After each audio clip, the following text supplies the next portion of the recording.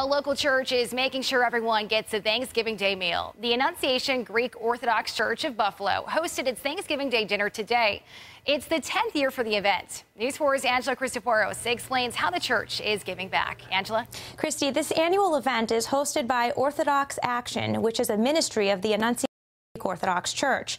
Dozens of people in need ate a Thanksgiving meal for free.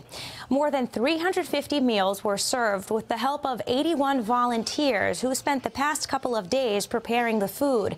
Guests ate traditional Thanksgiving Day foods like turkey, stuffing, mashed potatoes, and pumpkin pie. Each guest was also given a fleece blanket on their way out the door. According to the Census Bureau, a third of Buffalo's residents are poor. So events like this one today at the Greek Orthodox Church really make a big difference for people who can't afford Thanksgiving dinner. When it comes to Thanksgiving, that is a non-religious holiday. It's an American holiday. So everybody celebrates, and it is really difficult and lonely when you're by yourself. It's not easy for somebody to just walk in here on especially Thanksgiving because they know that they're struggling and they might not be able to feed themselves or their family.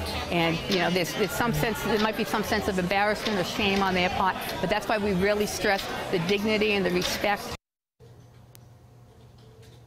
The church will be serving another free Thanksgiving Day meal this Saturday. The ministry also hosts a soup kitchen at the church on the second and last Saturday of every month. Live in the newsroom, Angela Cristoforos, News 4 at 4.